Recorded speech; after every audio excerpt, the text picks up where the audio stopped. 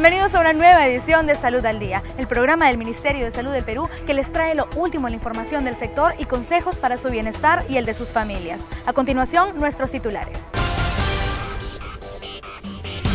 Hoy les contamos que el Pacto Social por la Salud propuesto por el ministro Abel Salinas Rivas recibió el respaldo unánime del Consejo Nacional de Salud. El órgano consultivo formará en breve grupos de trabajo para establecer los primeros temas de la agenda. Presten mucha atención a los súbitos cambios de conducta y de las emociones de sus niños y adolescentes, que podrían ser indicadores de abuso sexual. Esta semana el ministro de Salud, Abel Salinas Rivas, junto al presidente de la República, Pedro Pablo Kuczynski, visitó los hospitales de Moyobamba y Tarapoto en la región San Martín. Ambas autoridades supervisaron las atenciones y el acceso a los servicios médicos para los habitantes de esta zona del país. Además, 10 niños menores de 5 años oyeron por primera vez gracias a que el MINSA, a través del Seguro Integral de Salud, hiciera posible la cirugía de implante coclear. Esto permitirá que estos pequeños se integren a la sociedad en poco tiempo. Comenzamos con la información. El Consejo Nacional de Salud respaldó por unanimidad el Pacto Social por la Salud planteado por el ministro Abel Salinas Rivas, que busca mejorar la calidad de los servicios de salud en el país. La propuesta prioriza una serie de temas del sector agrupados en tres grandes ejes. Salud de las personas, recursos humanos en el sector y el sistema de salud en el país. Carolina Caicho nos lo cuenta en el siguiente informe. El Pacto Social por la Salud propuesto por el ministro Abel Salinas Rivas recibió el respaldo unánime del Consejo Nacional de Salud durante su última sesión ordinaria. Los consejeros apoyaron el acuerdo que prioriza una serie de temas del sector agrupados en tres ejes, salud de las personas, recursos humanos en el sector salud y el sistema de salud del país. Durante su presentación, el doctor Salinas Rivas recordó las reuniones que sostuvo con representantes de los colegios profesionales, organizaciones gremiales, civiles, entre otros, vinculados al sector para promover el pacto social por la salud. La lógica es que este es un espacio de diálogo, pero propositivo. Es un espacio de diálogo donde se han formado grupos o se están formando los grupos de trabajo que tengan una respuesta a la problemática de salud. No queremos más quejas, no queremos más reclamos, lo que queremos son más propuestas para resolver el problema de salud que tanto aqueja a la población peruana. Precisó que la propuesta incluye el compromiso para combatir la anemia y la desnutrición infantil, el fortalecimiento de la salud mental con un enfoque integral y comunitario, la revalorización del recurso humano y el fortalecimiento del rol rector del Ministerio de Salud, entre otros puntos. Tras agradecer el apoyo del Consejo, el titular del MINSA instó a sus integrantes a esforzarse en cristalizar los acuerdos para lograr un proceso de construcción de un nuevo sistema de salud en el Perú. Este órgano consultivo formará en breve grupos de trabajo para establecer los primeros temas de agenda. La pota es un alimento de alto valor nutritivo, bajo en calorías y grasas y con alta calidad de proteínas y otros nutrientes. Por eso, hoy en Sazón y Salud, el chef Carlos Colchado nos prepara un rico caucao de pota. Vamos a verlo.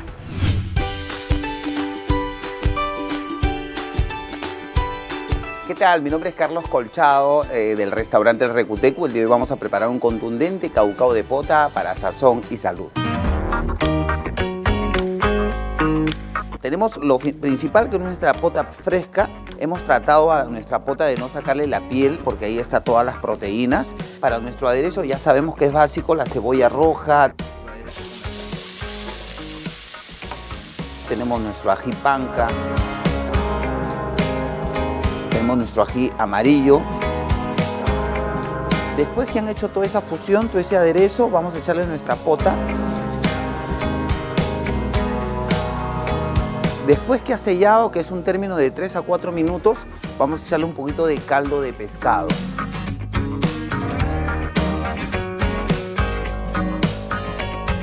Bueno, y por último, ya cuando está haciendo fusión todos los ingredientes, vamos a empezar un poquito a aderezar, un poquito de sal y vamos a echarle un poquito de, de palillo, ¿ya? Acá lo importante es que todavía no ha perdido su piel, pero en este caso esta piel Eh, la moradita que vemos ahí es la que tiene las proteínas. Vamos a proceder a echarle la papa. Esta papita la hemos cortado en cuadraditos, que ya la pota ya está, ya está cocida. 250 gramos de pota, le echamos 400 gramos de papa. Y ese es el punto importante, que va a ser un poquito más cremoso y, más delicioso. Nosotros hemos blanqueado, ¿no? Aparte, nuestra zanahoria con nuestra alberquita.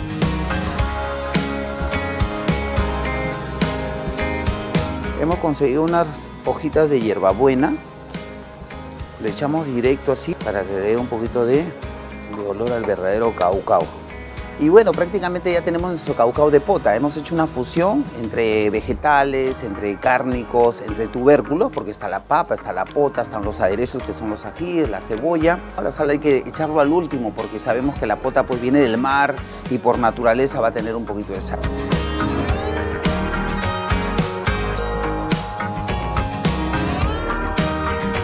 Espero que lo preparen en casa. Tiene bastante fósforo, potasio y magnesio Así que con nosotros y con toda la gente que le gusta la buena comida, nos vemos en una próxima receta.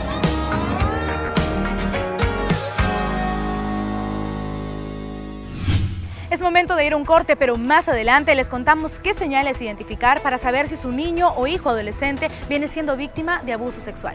Volvemos. Conoce más sobre la varicela. Es una enfermedad contagiosa que afecta a los niños y también adolescentes y adultos. Se transmite desde la aparición de las ampollitas hasta que se forman las costras en la cabeza y el cuerpo. Dura entre 5 y 7 días y desaparece sola. ¿Cuáles son los síntomas? Dolor de cabeza y estómago, fiebre, agotamiento, náuseas, pérdida de apetito y ampollitas. ¿Qué cuidados debes tener? Lávense las manos y baña a tu hijo todos los días con agua y jabón. Mantengan las uñas cortas. Controla la fiebre con baños de agua fría. No uses alcohol. Si hay mucha picazón, no coloques nada en la piel. No lo lleves a espacios públicos para evitar contagios. ¿Cómo reconoces las complicaciones? Si presenta fiebre alta por más de tres días, piel muy roja, caliente y lesiones con pus, irritabilidad y agitación, llévalo al establecimiento de salud más cercano. Ministerio de Salud. Gobierno del Perú, trabajando para todos los peruanos. Y continuamos con Salud al Día. En nuestra sociedad actual la violencia sexual se está acrecentando y los más vulnerables siempre son los niños y los adolescentes.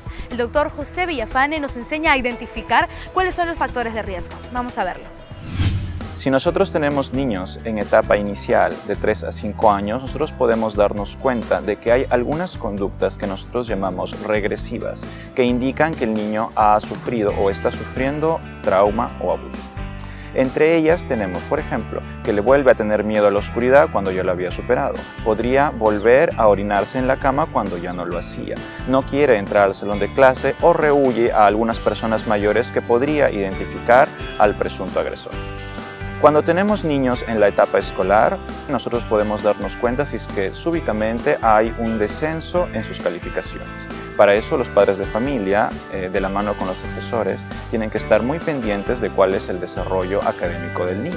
Al mismo tiempo, su grupo de amigos podría verse disminuido, aparecen pesadillas o no quieren contarle los, los eventos a los padres, puesto que muchas veces el abusador ha amenazado a los niños con hacerle daño a sus familiares o sus seres queridos si es que ellos denuncian los hechos. En el caso de las adolescentes, el consumo de drogas está relacionado con actividad sexual en muchos de los casos. Son más vulnerables a poder engancharse en actividades sexuales de riesgo y allí es cuando se acometen los abusos.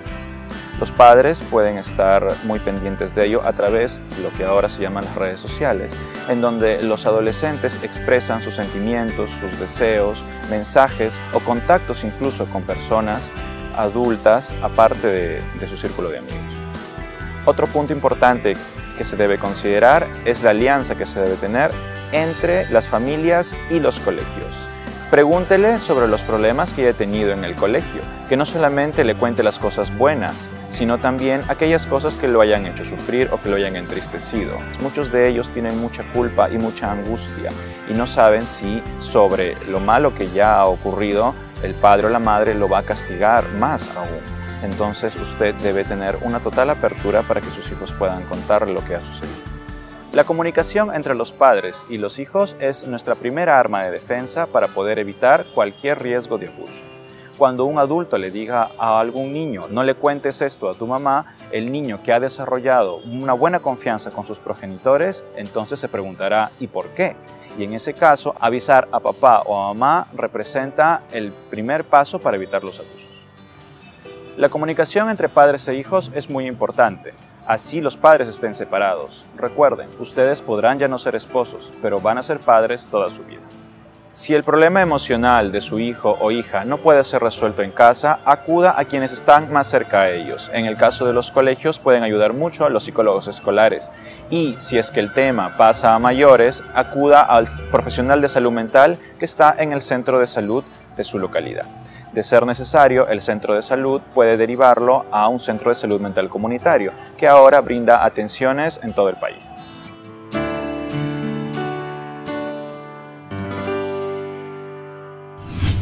Lo sabe, preste mucha atención a los comportamientos de sus hijos y no los deje solos por tiempos prolongados. Cambiando radicalmente de tema, esta semana el ministro de Salud Abel Salinas Rivas junto al presidente de la República Pedro Pablo Kuczynski supervisaron los hospitales de categoría 2-2 de Moyobamba y Tarapoto en la región San Martín. Las autoridades también participaron en la campaña Vive Saludable, Atrévete, Cuida tu Salud, que contó con dos puestos médicos de avanzada trasladados desde Lima por la DIGER y 20 profesionales de la salud.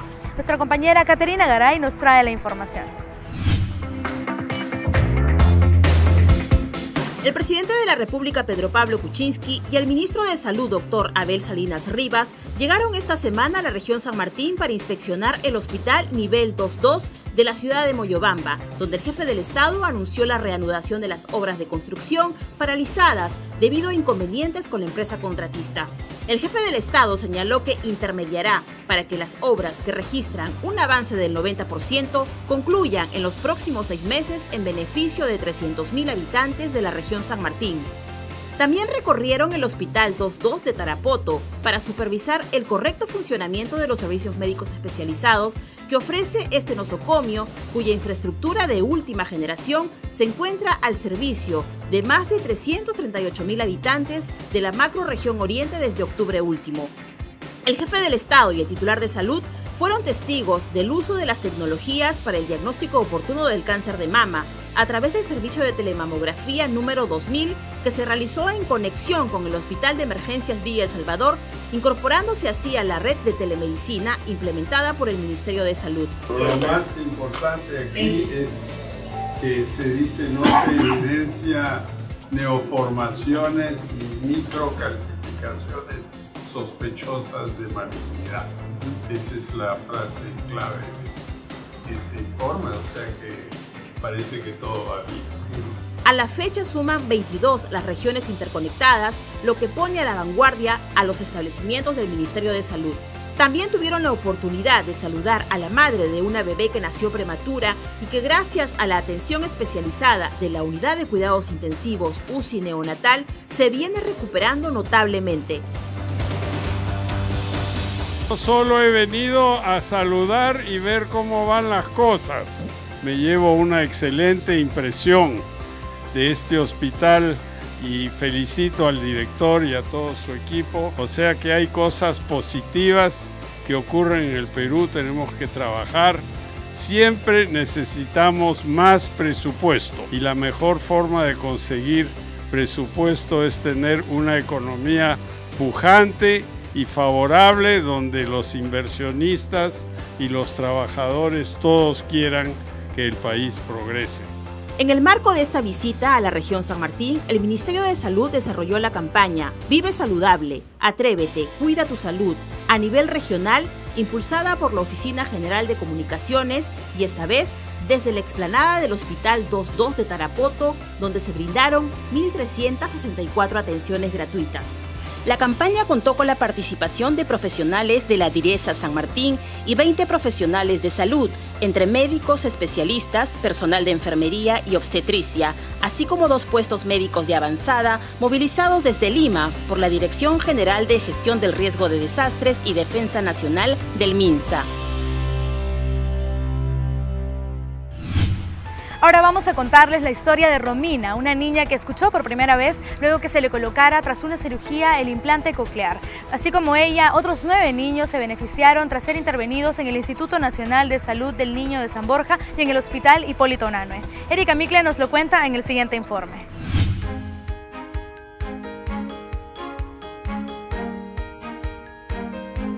El pediatra le, le hace una interconsulta para otorrino y, ahí después que el resultado sale, pues que mi hija tenía una pérdida de audición profunda, ambos oídos, ¿no? Con el resultado voy con, al doctor y ah, pues me dicen, tu hija no escucha, me dice, ¿no? Fue un balde de agua que nos ha caído. Sufrí mucho, no sabía qué hacer. El doctor me llama y me dice, ¿quieres buenas noticias o malas? Buenas noticias, doctor. Ya, tu hija va a ser operada el 19 de diciembre no sabía, me, estaba haciendo compras en el mercado, no sabía para dónde ir, bueno, ya, ya más que todo ya estuve y dije, ya llegamos al, día, ¿no? Mamita, ay, mi amor, mira, mira, mira, su nariz, se quedó, vamos a ponerlo, mira, acá, Matilde no puede describir lo que significó este momento en su vida. Su hija Romina oía por primera vez. Fue lo que soñó desde el momento en que le dijeron que la pequeña tenía sordera congénita.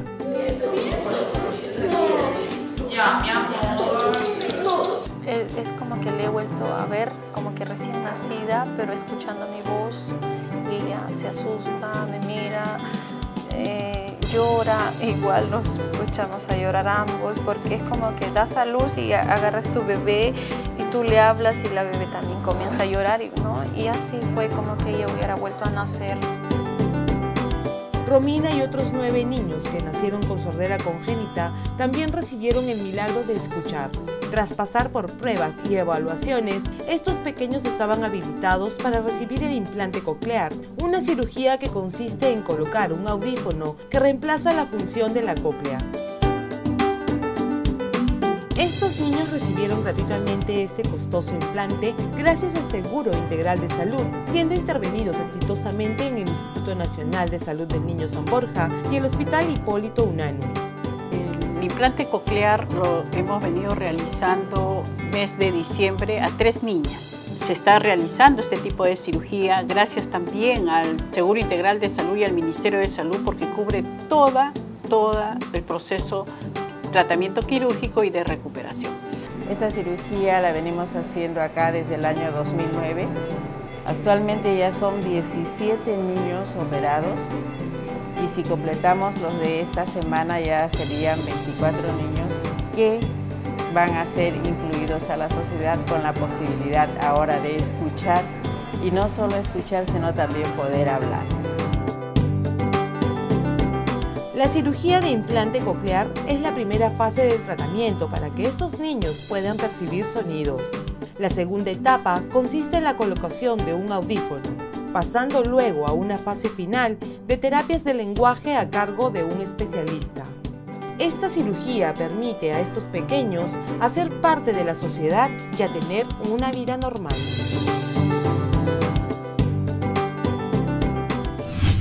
Y en una emotiva ceremonia, el ministro de Salud, Abel Salinas, destacó y reconoció el compañerismo y espíritu de servicio de don Julio Valdés, un valioso colaborador del Ministerio de Salud, quien cesó sus servicios tras 38 años de labor. Vamos a conocerlo.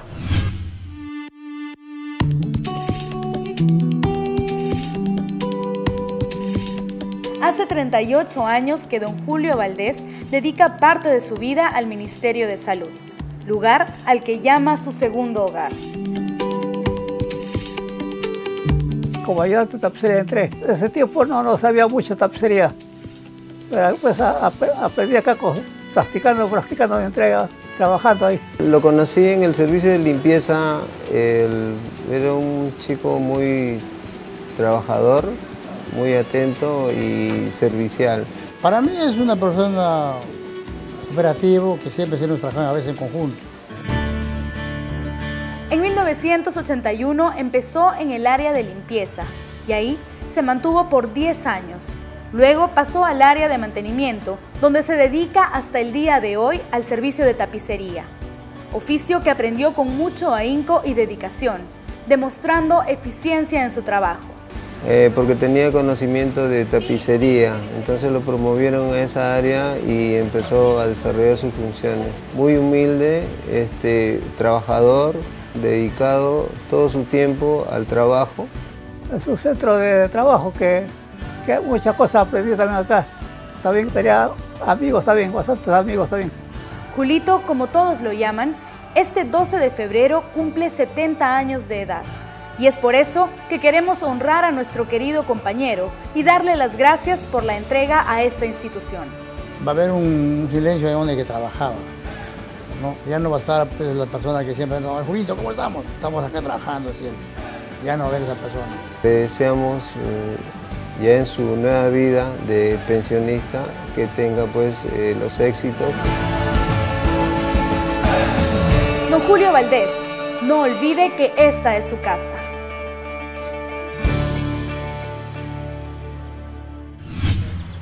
Es momento de ir a una pausa, pero no se mueva porque empezamos el año con cifras alentadoras para quienes esperan por una donación de órganos. Uno de los favorecidos fue Eric, un joven que puso fin a la enfermedad que lo tenía atado a una máquina de hemodiálisis. Volvemos. El dengue, zika y chikungunya se transmiten por la picadura del zancudo Aedes aegypti. Sigue los siguientes pasos para eliminar al zancudo. Lava, escobilla y tapa bien todos los depósitos donde almacenas agua. Elimina o coloca boca abajo todos los objetos que acumulen agua. Permite que el personal de salud con identificación ingrese a tu vivienda para revisar tus recipientes con agua. Aplicará productos para eliminar al zancudo. Usa arena húmeda en vez de agua en los floreros que pones en casa y en los cementerios. Cambia el agua y lava cada tres días el plato de las macetas y bebederos de los animales. Mi casa sin zancudos. Ministerio de Salud. Gobierno del Perú, trabajando para todos los peruanos. Continuamos con Salud al Día y esta es una noticia alentadora. Este 2018 se incrementaron las donaciones de órganos. Solo en enero tuvimos 16 donantes de riñón, cuatro veces más que el año anterior. Y uno de los favorecidos es Eric, un joven que recibió un trasplante de riñón en el Instituto Nacional de Salud del Niño de San Borja y con ello puso fin a la enfermedad que lo tenía atado a una máquina de hemodiálisis. Erika Mikle nos cuenta la historia. Fueron tres años interminables de sufrimiento y desconsuelo para Eric Morán y su madre. Este joven de 17 años tuvo que dejar de estudiar, de trabajar y de hacer lo que más le gusta, jugar al fútbol, tras ser diagnosticado paciente crónico renal avanzado. Sin embargo, esta semana, tanto Eric como su madre Ercilia recibieron la mejor noticia de sus vidas. Cirujanos del Instituto Nacional de Salud del Niño San Borja, a través de la Unidad de Donación y Trasplante del MINSA, encontró a un donante anónimo de riñón que daría fin a su enfermedad que lo tenía atado a una cama y a una máquina de hemodiálisis. Siento felicidad. Felicidad y estoy muy agradecido. Agradecido con la familia del donante, agradecido con todos los doctores y agradecido con Dios. ¿Con la que está tu costado? y Con mi mamá Claro. y con toda mi familia. Yo tengo fe mucho en Dios. Yo le entregué a mi hijo a Dios y él salió hasta bien bien. Es bien difícil llevar esta enfermedad. Pero como mamá tenemos que ser fuertes, valientes y seguir luchando. Pues. Intervención quirúrgica fue inmediata y estaba integrada por un equipo multidisciplinario de cirujanos expertos en trasplante de órganos, urólogo pediatra, cardiólogo, nefrólogo, anestesiólogo e instrumentalistas. El paciente tres años ha estado en espera de este trasplante con diagnóstico de insuficiencia renal crónica, ha estado con hemodiálisis interdiario, prácticamente perdió hasta los estudios, pero ahora nuevamente se recupera, mejora su calidad de vida y su bienestar. En este momento tenemos una relación de 15 niños que están, estamos preparando para trasplante. Es por eso que sí hacemos un llamado a la cultura de donación. La Dirección General de Donaciones, Transplantes y Banco de Sangre de MINSA informó que han aumentado las donaciones de órganos en el año 2018. En el caso de trasplante de riñón, 16 personas recibieron este órgano vital en comparación al año anterior, donde se realizaron solo 4 trasplantes. Eric se recupera favorablemente y recibirá periódicamente por consulta externa servicios de psicología, servicio social y nefrología para garantizar su buen funcionamiento renal.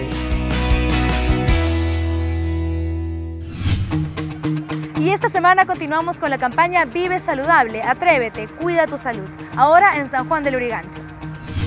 En esta campaña impulsada por el Ministerio de Salud a través de la Oficina General de Comunicaciones y en alianza con CERPAR, que se llevó a cabo esta vez en el Club Zonal Huiracocha, se realizaron 4.065 atenciones en las distintas especialidades como dermatología, descarte y tratamiento de anemia, medida de presión arterial y salud bucal.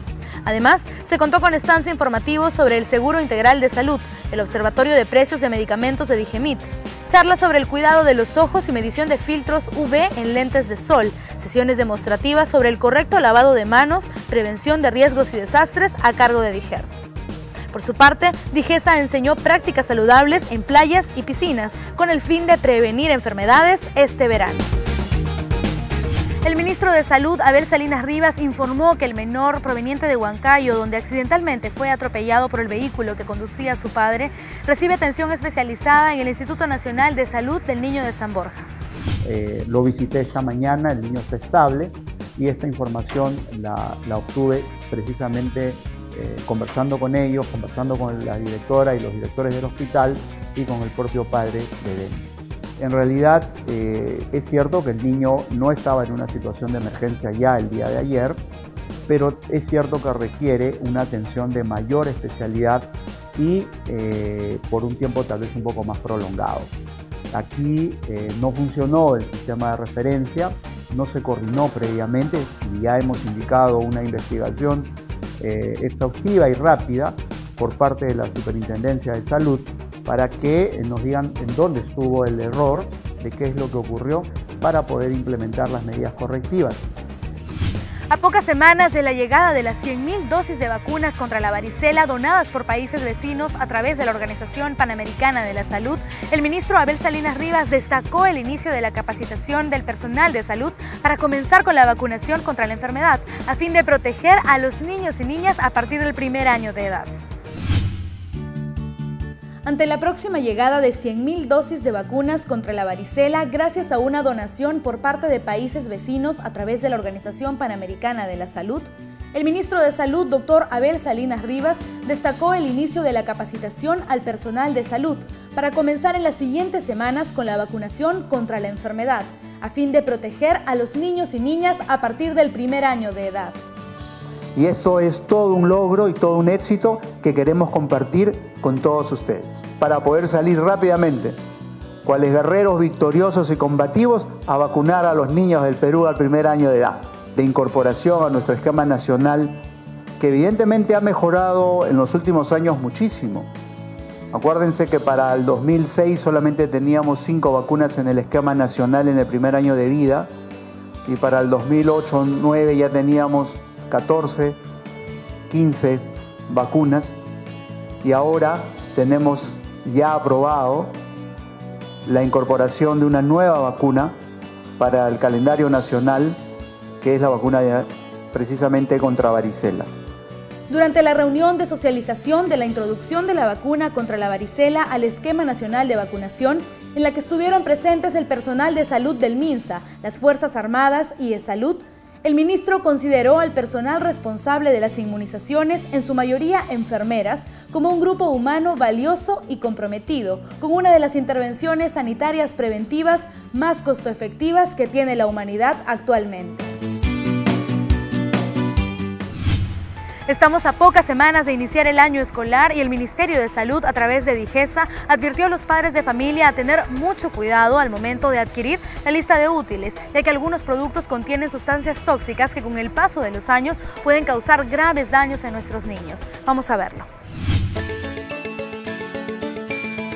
A pocas semanas del inicio del año escolar 2018, el Ministerio de Salud, a través de la Dirección General de Salud Ambiental e Inocuidad Alimentaria DIGESA, advirtió que el uso de útiles escolares sin registro sanitario y código de barras puede causar serios daños a la salud, en especial a la de los niños por contener sustancias tóxicas y metales pesados como el plomo y el mercurio. Niños que son la parte más vulnerable de nuestra sociedad y a los que tenemos que cuidar. Hacemos el llamado durante esta campaña no solo a los padres de familia que tienen que velar porque, por comprar unos útiles escolares adecuados, sino al productor, al que nos vende, al que comercializa y al que fabrica. Entonces consideramos que esta campaña nos ayuda a los padres, a las profesoras, a que los niños utilicen eh, los útiles escolares, que esto no perjudique a su salud. Tenemos estos productos que son saludables porque tienen su registro, tienen el registro sanitario, tienen las eh, indicaciones de uso, eh, tienen para qué edad está, está destinado. Es bien importante que todos sepamos que hay un rótulo detrás de cada producto y si hay algún problema podemos llamar a, a Digesa, podemos hacer eh, una alerta para que el producto sea separado inmediatamente de nuestros niños. La exposición continua a este tipo de productos puede provocar alergias, cansancio, irritabilidad, afecciones al sistema nervioso, dermatitis, trastornos estomacales e incluso retardo en la capacidad intelectual de los escolares. Antes de comprar, tenemos que ver que el, eh, primero el empaque sea, sea íntegro, que no esté eh, roto, hermético. Luego el registro nacional y la autorización sanitaria. Que esta campaña sea a nivel nacional. Si todos ponemos nuestro granito de arena, yo creo que vamos a tener niños inteligentes, saludables y felices. El verano es cada vez más intenso y nuestros niños son los que más sufren por el sol. Por eso es que en un minuto en salud les enseñamos los procedimientos que debe seguir para aplacar los golpes de calor. Vamos a verlo.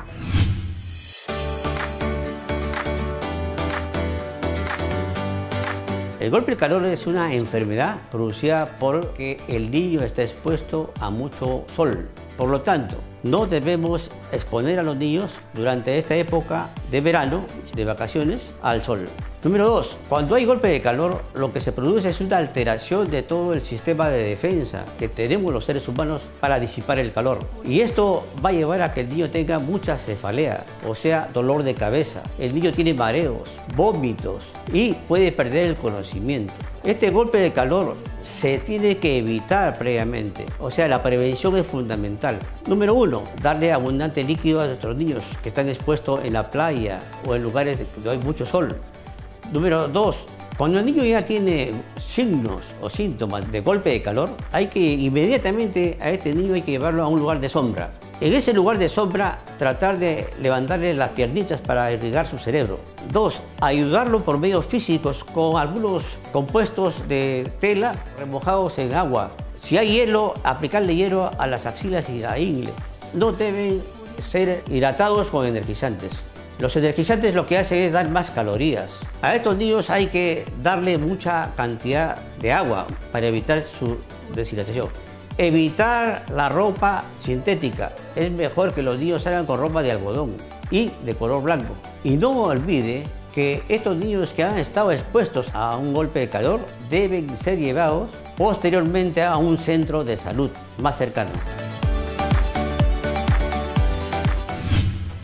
Llegado al final del programa. Gracias por acompañarnos una semana más en Salud al Día. Sigan nuestras recomendaciones, estén muy atentos al comportamiento de sus hijos, evite los golpes de calor en los niños y siempre incentive la cultura de donar órganos para salvar más vidas. Nos vemos en el próximo programa.